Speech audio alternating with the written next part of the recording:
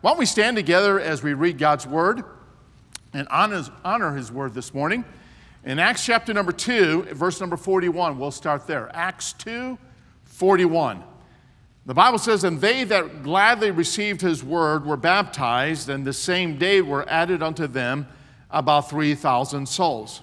Aren't you thankful that we're a church that preaches the word of God? We see lives change by the power of the gospel. And even this morning, we saw two people identify with the Lord in believers' baptism. Aren't you thankful for that? And let's not get over that. Uh, here it is, a 4th of July weekend, and uh, we see people responding to the gospel and identifying with the Lord in, in, in that first step of obedience. Verse 42 now, and they, those that were saved and baptized, and they continued steadfastly in the apostles' doctrine and fellowship, and in breaking of bread and in prayers. And fear came upon every soul, and many wonders and signs were done by the apostles. And all believed were together and had all things common. They sold their possessions and goods and parted them to all men as every man had need. And they continuing daily with one accord in the temple and breaking of bread from house to house did eat their meat with gladness and singleness of heart, praising God and having favor with all the people. And the Lord added to the church daily such as should be saved. Father, we thank you for your word. I pray that you would encourage us today and uplift our spirits and energize us so that we could be the church that you want us to be. And we ask this in Jesus' name. Amen. You may be seated. How many of you would identify with being a good starter? Maybe it's a project at home, but man, you, you tackle that project, you're a good starter. Maybe in the beginning of the new year, you're, you have all these goals listed out. You know, you're going to read your Bible through and, and you're going to have a prayer list and, and you're going to do, you're going to lose, you know, 25 pounds this year. You're going to exercise and boy, you have all these goals and, and you do really good for about two or three weeks. And then somewhere along the line, you get a little discouraged, you get off track a little bit, and, and you're just not really a good finisher. You know, and I believe that as a church, as believers, we ought to be good finishers. And I believe as Christ followers, that ought to be our aim. That ought to be our purpose, is that we want to finish the race that God has called us to run. We need to go the distance. You think about Old Testament Bible characters. Now, there were some that were very good finishers. Uh, you know, there was Joshua, there was Joseph, you know, there was Elijah, Elisha, uh, there was Daniel. And, but then you think, there's, there was a lot of good starters in the Old Testament, but they didn't finish well. You, you think of Moses, who lost his temper and failed to enter into the promised land. You think Saul, the first king of Israel, he had a good start. He started strong. But fear and pride got the best of him. Think of David, a man after God's own heart. Well, he started off really good. But he didn't finish too good. Sin hindered him from running his final stretch.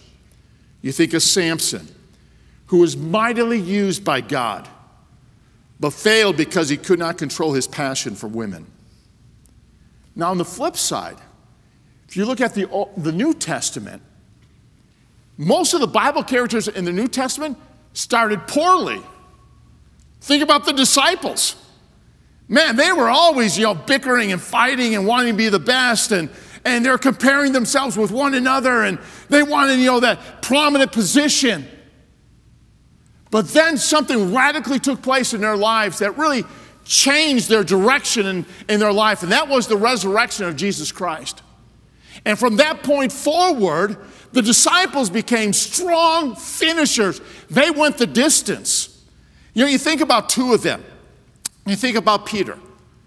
Peter, early on in his ministry, was obsessed with possessing prominent position in God's kingdom.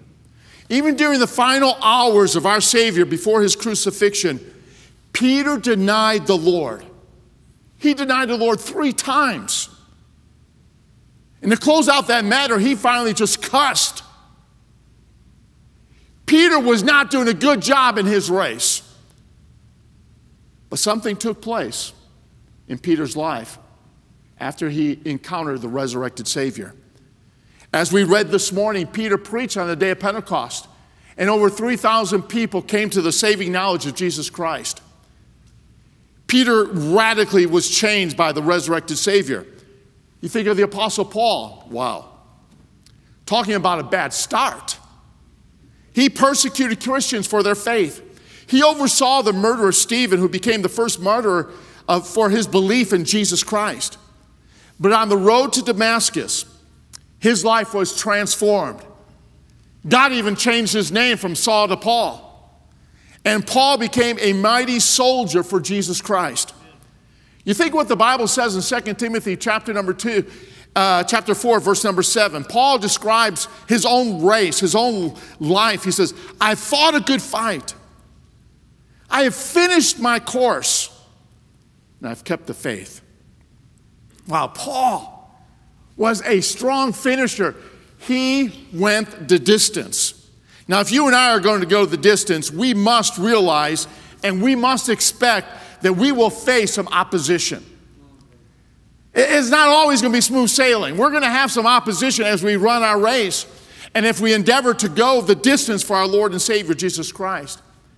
Now, over in Europe, they're, they're conducting right now the, the Tour of France and is underway. And, and it's one of the, the highlights for anybody that is a cyclist. And they have repeated uh, um, uh, races throughout a, a two week period. And, and boy, these riders face many different oppositions. They face headwinds, they face flat tires, and maybe mental fatigue, and the physical depletion because they are not hydrated, and maybe it's a, um, a mechanical problems. But this two, uh, last Saturday, something unbelievable took place, and probably all of you probably saw it on the internet or maybe on ESPN. And but we got something we're going to show on the screens about what took place. Uh, what has happened? Right on the side of the road there. Look at this. I don't know what's happened there. Maybe they clipped the crowd, but whatever has happened, they are in a right mess down there at the moment now. How many riders? Let's hope.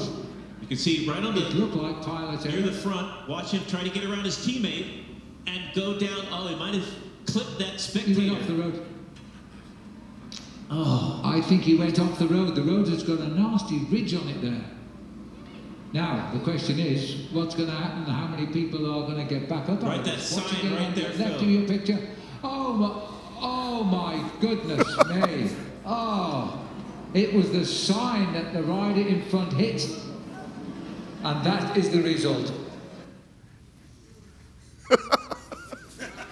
Did you see me in that race? I went crashing. You know what that sign said? That lady was so proud of getting on TV and the problem that, the sign was, was in German and French, kind of a mixture. And it said this Go, Grandma, Grandpa. She was cheering her grandmother and grandfather on. And all of a sudden, because of that act of she's on TV, she caused that terrible wreck. Do you realize this?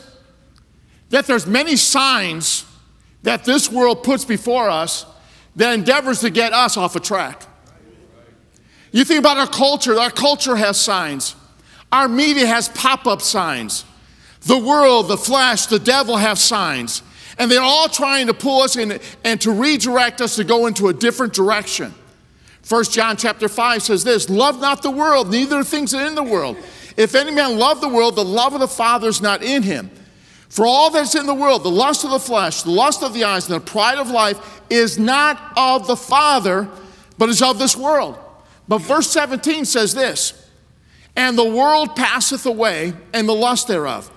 But he that doeth the will of God abideth forever. Let me kind of rephrase that a little bit if you don't allow me to, do that. But he that doeth the will of God goes the distance. We must realize that God's will will enable us to go the distance for his honor and for his glory. Now, the question comes to our mind how can we go the distance? How can we run our race and finish the race that God's called us to run? In our passage this morning in Acts chapter number two, God gives us five disciplines that we need to make sure that we're infusing into our lives so that we can run the race that God's called all of us as believers to run. So let's look at this first discipline that God gives to us. We need to be celebrating the awesomeness of Jesus Christ. The Bible says in Acts chapter 2, verse 43, and fear came upon every soul. Verse 47 says this praising God. In this early church, these believers had a sense of awe of who Jesus is a, a reverence, a fear of God, a, a respect for who He is and what He's done. Oh, in our world today, we stand in awe of mere men and women who have accomplished much in the arenas of maybe business, politics, maybe entertainment, or even sports. Recently, probably several months ago, first time I heard this comment or this statement, um, uh, Tom, uh, is Tom, yeah, Tom Bradley. What's his first name? Brady, Tom Brady, excuse me, Tom Brady. He was called the GOAT. And I'm thinking, the GOAT? I mean, he can't be the GOAT. I mean, he, he's like, I mean, he's a superstar. But I didn't realize the GOAT man's the greatest of all time. And we cheer him on because, you know, he won seven Super Bowls. And then there's, you know, in basketball, excuse me, Laker fans, Michael Jordan, being from Chicago, amen. Um, six world championships, three championships in a row, two times. And then for golf, you know, the GOAT is, you know, Tiger Woods, who have won most PGA champions uh, tournaments than any other golfer. You look at these men, and they're, you know, they're, they would call them the goats. You know, they're the greatest of all time. But this church here, the one that they stood in awe of, was not the religious leaders, not their political leaders, not their athletes that they worship, no, but it was Jesus Christ. They stood back and they cheered on him because of who he was and what he accomplished in and through his life. The one that created the world, the one that spoke this universe into existence, they stood in awe of him. In Psalms 147, verse 1, praise ye the Lord, for it is good to sing praises unto our God, for it is a pleasant and praise is comely. He healeth the brokenhearted, he bindeth up their wounds, he telleth the number of the stars, he calleth them all by their names. Great is our Lord and great and of great power. His understanding is infinite. The Lord lift up the meek. He cast he casteth the wicked down to the ground. Sing unto the Lord with thanksgiving. Sing praise unto the, unto the harp, unto our God. In Isaiah chapter number 40, the Bible says, To whom then will we liken me? Or shall I be equal, saith the Holy One? Lift up your eyes on high, and behold, who hath created these things that bringeth out their host by number. He calleth them all by names by the greatness of his might. For that he is strong in power not one faileth. Peter preached on this special day in, in, the day of Pentecost, Acts chapter 2, and he draws attention uh, to the awesomeness of Jesus Christ. Look in your Bibles in Acts 2, verse number 22. Acts 2:22. He says this in his sermon Ye men of Israel, hear these words Jesus of Nazareth, a man approved of God among, among whom among you by miracles and wonders and signs by which God did by him in the midst of you, as ye yourselves also know. That word approved comes from two Greek words. It means to separate and to expose to eyes or to give evidence. So God set aside Jesus Christ so that we would have the evidence that Jesus is the living Christ. He is the one that conquered sin, death, and the grave. And because of that, you and I ought to worship him and praise him and lift him up in two specific areas. His life was approved. The Bible says in John 6 38, For I came down from heaven not to do my own will, but the will of him that sent me. In John 8 29, and he that sent me is with me, the Father hath not left me alone. For I always do those things that please him. Wow, what a testimony of our Savior. He always did those things that were pleasing to his, his heavenly Father. He set his side, his own agenda, and his whole purpose was to run the race and to go the distance and to go to Calvary for you and for me. His life was approved, but not only that, but also his sacrifice was approved. Look at verse number 23 then. Him being delivered by the determinate counsel and the foreknowledge of God, ye have taken and by wicked hands have crucified and slain, whom God hath raised up, having loosed the pains of death, because it is not possible that he should be holden of it. Man, think about this. We celebrate Jesus Christ as because he's awesome and he's a wonderful Savior. He conquered sin. He, he's the one that sets us free and he brings freedom to our soul and to our lives. The Bible says you should know the truth, and the truth shall set you free. And Jesus says, I am the way, the truth. Man, we ought to celebrate the awesomeness of Jesus. But we see the second discipline we ought to infuse in our lives. We need to be constructing our lives daily. Look at Acts chapter 2, verse 42. And they continued steadfastly in the apostles' doctrine. It's typically the norm for us to start off good. And along the way, we begin to waver. I think different areas of my life, and one area of my life, I know I start off really good, but it doesn't take me long to waver, and that is in the area of dieting. I don't know if you're an expert dieter. Um, I'm not. I do really good from about 6 o'clock in the morning to about 11 o'clock in the afternoon. I do really good within that, that, that framework of time right there. I remember my wife now, she reads all these different articles about weight loss. And I mean, she has all these different diets. I mean, she, she is a champion of losing 10 pounds in 10 minutes. I mean, she loves those types of diets. And uh, she put me on one of those diets because she didn't want to diet alone. She likes the companionship. And so we're dieting together, and this diet was called the cabbage soup diet. Now, just kind of let that sink in. The cabbage soup diet. It's exactly what I just said. And that, that, that, that meal, that breakfast, you can, you, listen, you can eat all the cabbage soup you want. You can eat all you want. And, and, you know, if you like to eat rubber, you know, rubber tires, you know, that's basically what it tastes for. Tastes like. But there's no noodles in there, there's no meat in there. All you could put in that cabbage soup is salt and pepper. And may I say, I put a lot of salt and pepper in there. I'm not sure if the salt was any good for me, but I tell you what, I had to add some flavor to that soup. And I had two big bowls of that cabbage soup. And you know, I walked away, I was full. I, I, I, I got probably kind of puffed up a little bit. I think, you know what? I could do this. I could do this. And it, it wasn't after just a few hours, man. I was starving. And all I was thinking about, man, at noon we're going to have cabbage soup again. And I'm thinking, no way. There, there's no way I'm going to be able to do this. And then I'm thinking, my wife, she, she said, oh, we got to do this together. I need your encouragement. And I thought, I got to do this. So, so, I, so I made some visits on the west side of town off Avenue I, about 20th Street West to be exact. And there's a restaurant there that was, you know, I heard there, I saw a vision. I heard the voice, come, dine in and out with me. So I go through the drive through and I order a double double, amen. Grilled onions, cheese, yes french fries, and bless God, a Diet Coke. Amen. Boy, I tell you what, I devoured all that up. So I ran home, and it was about 12, 15 or so. And my son, I got, I got our soup together. And I said, honey, I, am not, I'm, not, I'm not hungry.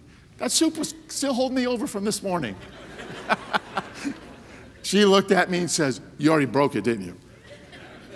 What did you eat? I, I guess like just the guilt on my face. You know? I, I just couldn't continue on that. But I'm thankful that this early church, that they continued. They continued in the apostles' doctrine. Listen, if we're gonna if we're gonna go the distance, the only way we're gonna be able to do that, church, is that we need to have a steady diet of God's word in our life. Amen. You know, the Bible says in James chapter 1, it says, Be doers of the word and not hearers only, deceiving yourselves. For if any man be a hearer of the word and not a doer, he is like unto a man beholding his natural face in a glass. For he beholdeth himself and goeth his way, and straightway forgetteth what manner of man he was. But whosoever looketh into the perfect law of liberty and continueth therein, and being not a forgetful hearer, but a doer of the work, this man shall be blessed in his deed. Now, in our, in our auditorium today, there's two types of people in our, our auditorium this morning. There are those that you will look into the mirror of God's Word. And one thing about the mirror, the mirror does not lie. I'm sure all of us this morning, we looked into the mirror. And for us men, we looked at the mirror and we said, you know what? Not bad. Every lady looked in the mirror and said this Oh, Lord Jesus, come quickly. But you know, we look into the mirror and we say, Well, I got to do something. I got to shave. Got to comb my hair. Got to wash my face. And that's about all that guys do. Now, ladies, I have no idea what you all do. It takes us men five minutes to get ready. It takes you ladies five hours to get ready. But you begin that work the the pulling and the painting and, and all of that. And I'm, I'm thankful for every bit of it. But you, listen, when you look into the mirror, we know one thing the mirror doesn't lie. And when you look in the mirror, you realize I've got to do some work. Because what this is reflecting to me is not perfection. So that's one group of people in our, our auditorium today. Or number two, you look through life through the window frame. And all you do is look at others. And what you do, you say, you know what? Ah, I see something wrong with him. Oh, I see something wrong with him. Oh, I see something wrong with her.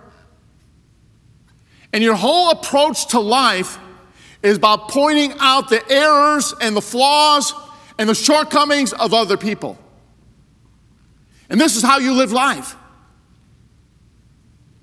But God tells us if we're going to finish the course that God's called us to run, if we're going to go the distance, we must be a people that look into the mirror of God's word so it reflects to each and every one of us the flaws, the shortcomings, our sin that needs to be changed Amen. and confessed.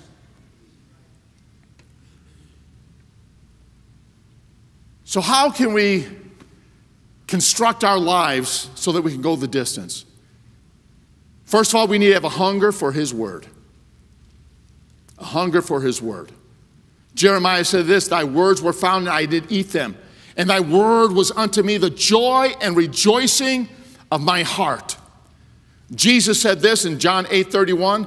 Then said Jesus to those Jews which believed on him, If you continue, that's a key word, in my word, then are ye my disciples indeed. What's imperative is this is not what you did three years ago, but what did you do this morning with God's word?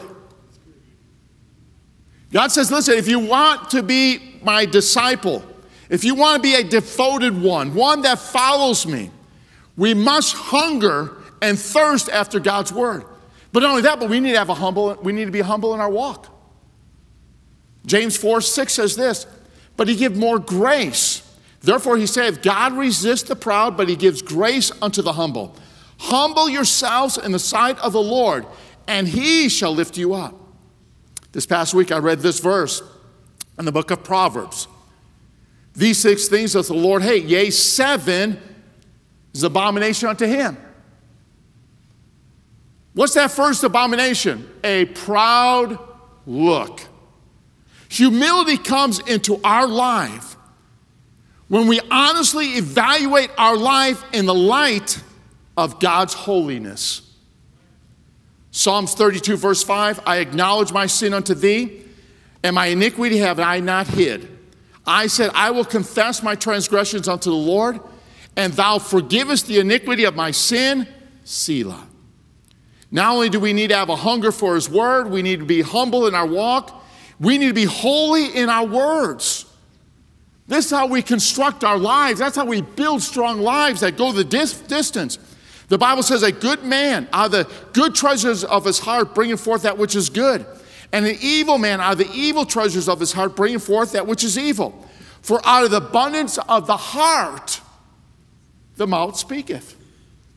In other words, what's in your heart will come out through your lips. And that's why we need a hunger for God's word. And that's why we need to look into the mirror of God's word and continue therein and not be forgetful here. Because God's word is able to transform our hearts. Think about our words. We need to be cautious with our words.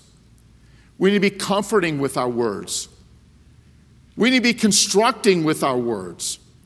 We need to be caring with our words. Ephesians 4:29, let no corrupt communication proceed out of your mouth, but that which is good to the use of edifying, that may minister grace unto the hearers. So, as the thing about going the distance, what are these disciplines that we need to be putting into our life? Number one, we need to be uh, celebrating the awesomeness of Jesus Christ. We need to be constructing our lives on a daily basis. And number three, we need to be connecting with other Christ followers.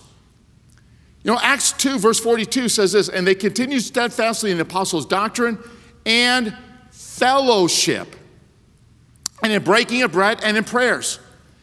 And verse 44 says, and they all that believed were together. Now, listen, the, the church is, is a uh, called out assembly of believers. The church also is referred to as a body. Now, you think about your body, your body has many parts to it. But our body functions together. And when one of your part of your body hurts, the whole body hurts. Now the Bible says that, that the church is a body. In 1 Corinthians chapter 12, but now have God said the members, every one of them in the body, as it hath pleased him. Listen, this morning, you're very important to this body.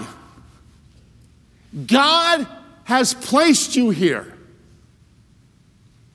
Well, not everybody knows my name. That's okay. God knows your name. And He's placed you here. You're a vital part of this body that is endeavoring to move forward for the cause of Christ. Listen, the church needs to gather together. Look what the Bible says in verse number 46. And they continuing daily with one accord in the temple and breaking of bread and in prayers. Aren't you thankful that this world finally recognized that church is essential? When God has told us long time ago in His Word that we ought to be gathering together. The Bible says, and let us, get, let us consider one another to provoke unto love and to good works, not forsaking the assembling of ourselves together as the manner of some is the church needs to gather together. But listen, the church needs to get ready together. The church needs to get ready together. The Bible says in, in verse 25 of Hebrews 10, the second part of that, but exhorting one another, and so much the more as we see the day approaching. In Titus 2, t- verse number 11, for the grace of God that bringeth salvation hath appeared to all men teaching us that denying ungodliness and worldly lust, we shall live soberly, righteously, and godly in this present world. Why? Looking for that blessed hope and the glorious appearing of the great God and our Savior, Jesus Christ. We need to be getting ready. Gathering helps us to go the distance by reminding us that Jesus is coming. It reminds us. Hey, listen, I, am just a, I'm just a pilgrim passing through. This is not my home. I'm just traveling through. One day I will be in heaven for all eternity. We're only here really for a few seconds when you compare that to eternity. The Bible says our life is like a vapor, it appeareth and it vanisheth away. Then we step into eternity and we'll be there forever. But gathering together reminds us of that, that our lives are fragile and we have a purpose to live for. But it reminds us and it realigns us. Because sometimes our hearts are prone to wander. Sometimes we do drift. And sometimes we get off track. But as we gather together, we get back in line with, with God's calling upon our lives and realize that, hey, I do have a race that God wants me to run. And I need to realign my life and make sure I'm going in the direction that God has directed my life, in the direction that God has directed your life. So, reminding us and realigning us, but also re energizing us. Do you ever just come to church and just being flat out tired? I mean, where you just kind of depleted? I mean, like, you don't even know if you could stand up. You're just glad when you could sit in your chair. Then Brother Williams says, Well, let's stand up and sing. It's like, I don't want to. I'm, I'm just tired. But then, you know, isn't it amazing though, after a few songs, your heart gets lifted up? You hear Pastor preach, and man, you feel like, wow, I, I'm, I'm energized. Hey, I'm feeling pretty good. You know why? That's what gathering together does. That's what church does.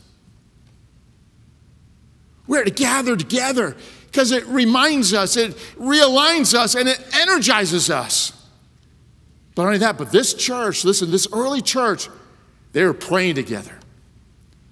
And as we pray together as church, guess what? That enables us to go the distance. Look at verse number 42 and in prayers. There's incredible power and potential in prayer. Through prayer, we invite God of the universe into our situation and into our lives. Prayer changes things. More importantly, listen, prayer changes you and me. Through prayer, we have the opportunity to reach our full potential in Christ. The disciples said to Jesus, Teach us to pray. As we grow in our prayer life and we become more alive and more engaged with, God, with what God is doing, listen, none of us are perfect at prayer. But as we take steps to grow spiritually in our prayer life, the impact is incredible.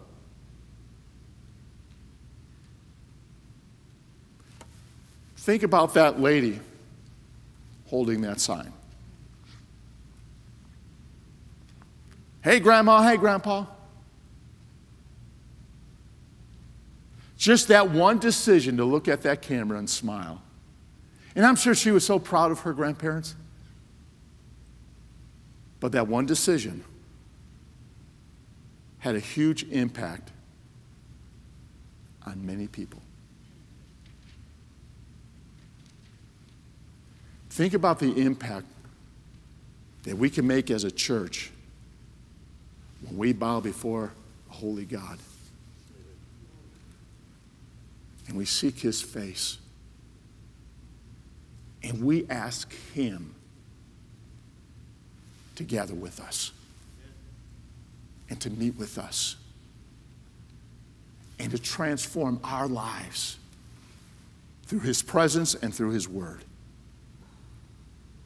God will move mountains God will, per, will transform us into people of love and joy and peace through prayer. Let's become a people, let's become a church that prays together. Prayer expects, expresses our dependency upon God. Prayer is our lifeline to His resources. Listen, the, the, the, to go the distance, listen, you, you can't just fuel up in the morning and think, okay, I had my, my oatmeal, I drank my orange juice, I'm good for my race now. No, listen, as you pedal your bike and as you, you go through that race or just a, a, a ride, listen, your body begins to deplete itself.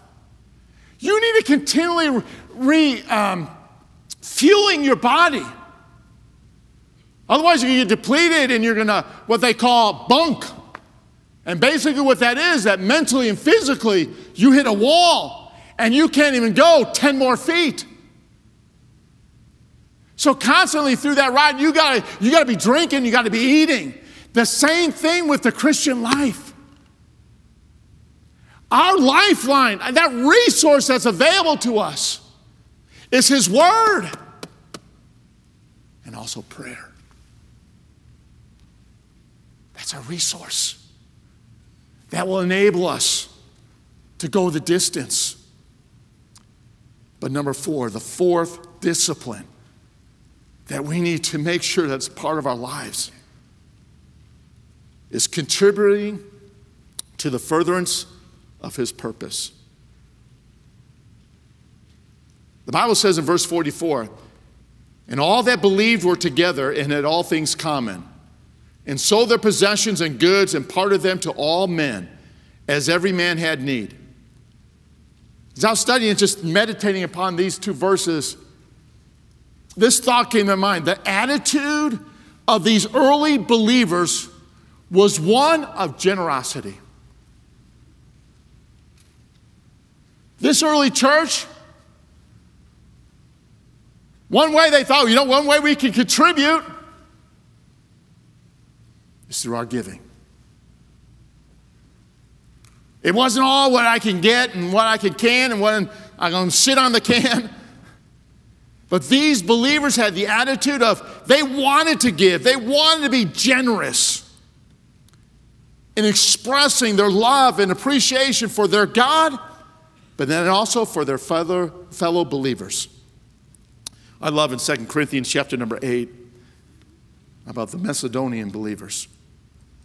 An amazing group of people who gave beyond their powers. How they gave beyond their own, their own resources. How's that possible? The Bible tells us. Moreover, brethren, we do with the grace of God bestowed upon the churches of Macedonia. How that in great trial of affliction, the abundance of their joy and their deep poverty abounded unto the riches of their liberality. Uh, just kind of let that sink in. I mean, here was a church that had great affliction, had deep poverty,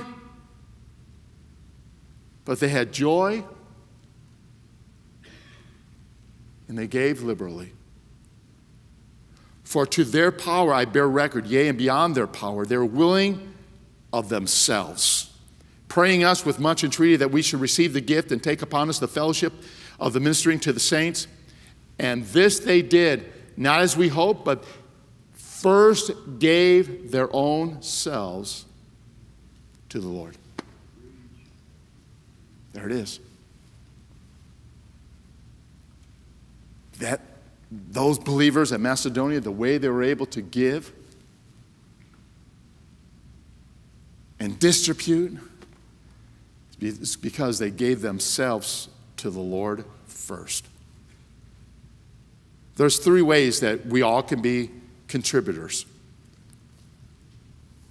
I hope that that's your desire that you want to be a contributor.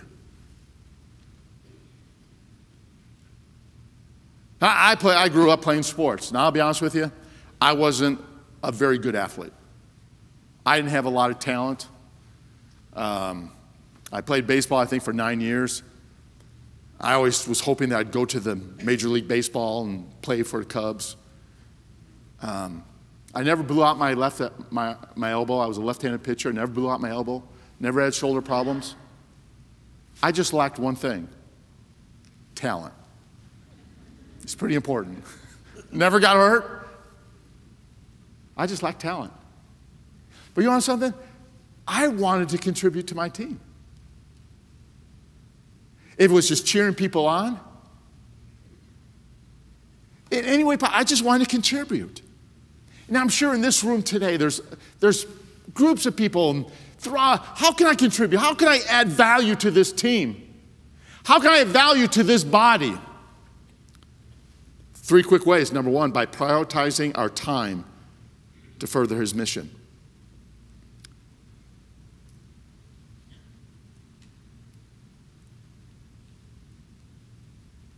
One of the reasons why people say, Well, I can't read my Bible, I'm so busy, or I can't spend a lot of time in prayer because, man, I got so many demands in my life.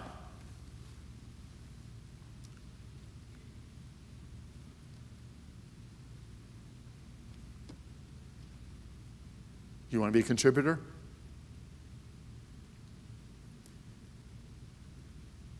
We need, to prior, we need to prioritize our time more effectively. Second way, by investing our treasures. And thirdly, by engaging our talents to further his mission. But let's lastly, let's look at the final discipline that we ought to infuse into our lives. And that's communicating the life changing message of Jesus.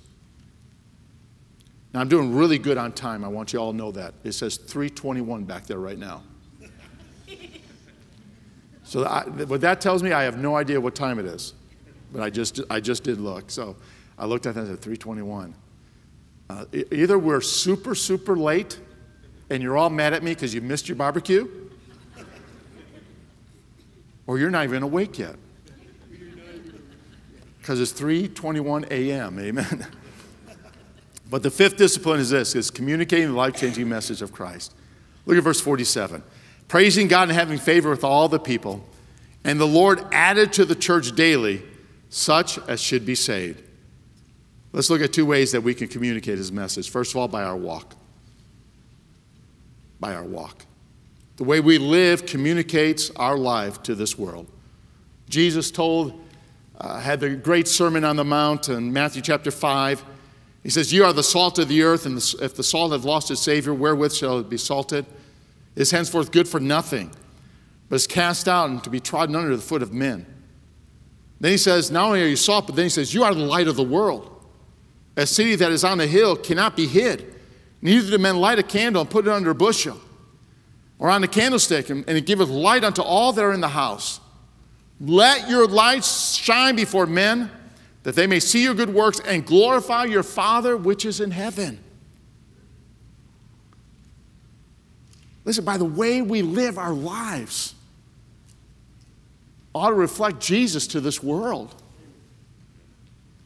Now we know Jesus is the light of this world. But may I remind you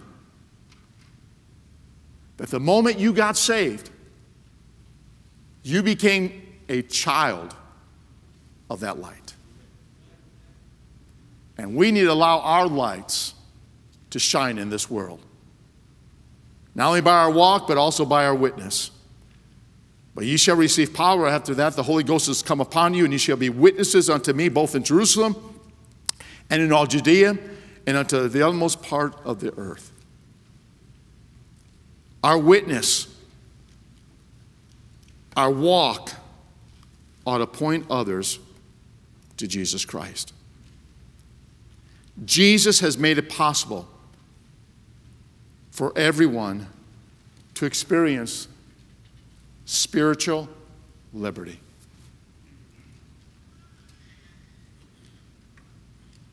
Before coming to Christ, I was enslaved to sin. Oh, I was religious. I went to church, but I was in bondage. I had no hope for eternity. But then Jesus came in. And he set me free. God said, For God so loved the world that he gave his only begotten Son that whosoever believeth in him should not perish, but have everlasting life. For the wages of sin is death, but the gift of God. Aren't you thankful that it's a gift? Aren't you thankful you don't have to earn it? Listen, Jesus paid the price, but he offers it to us as a free gift. Just a side note if you haven't made that decision to accept Christ as your Lord and Savior, may I say that that is your first step. That's how you get into the race. Is by receiving Christ as your Savior. And through that, you have the wonderful joy of knowing that if you were to die, that you would spend your eternity with Him in heaven. Now, as believers, how are we doing with these disciplines? Are we celebrating the awesomeness of Jesus? Is there a sense of praise that bursts forth out of our hearts and souls? Are we constructing our lives on a daily basis? Are we connecting with other believers? Are we contributing to further for the furtherance of his purpose? Are we communicating the gospel message through our life and through our witness?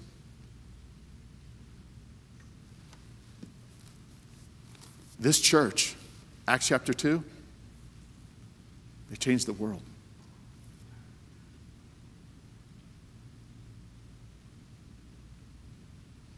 Think about the potential that we have.